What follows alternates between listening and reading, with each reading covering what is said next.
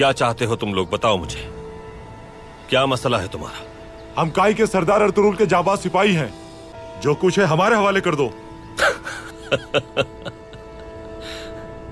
हंसने की क्या बात है इसमें?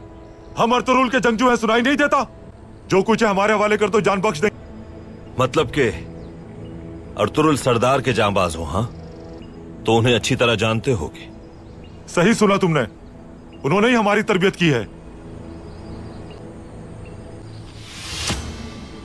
तो फिर देखते हैं कितनी अच्छी तरबियत की है उन्होंने।